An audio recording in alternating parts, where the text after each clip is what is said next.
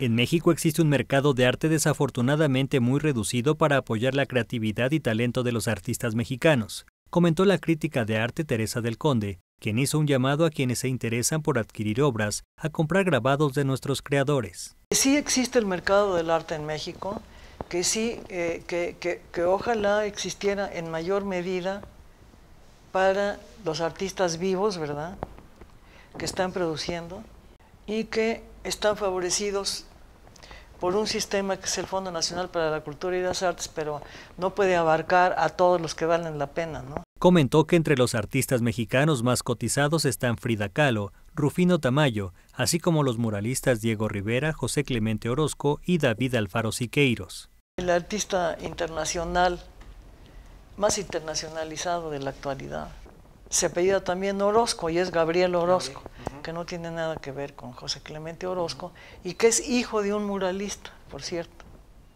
Bueno, él, es el artista más internacionalizado y puede ser que sea el que tiene mejores precios. La también especialista del Instituto de Investigaciones Estéticas de la UNAM dijo que hace falta un mayor compromiso con el arte que se genera en nuestro país. Las grandes colecciones mexicanas de arte que están en los museos no son eh, lo suficientemente nutridas como si podrían haberlo sido.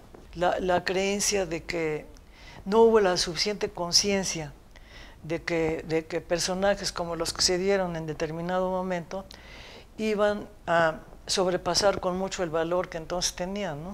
Y ahora, por ejemplo, si un museo quiere comprar un tamaño en México, está, está bastante difícil. Con información de Manuel Bello y Raúl Adorno e imágenes de Enrique Romero, Notimex.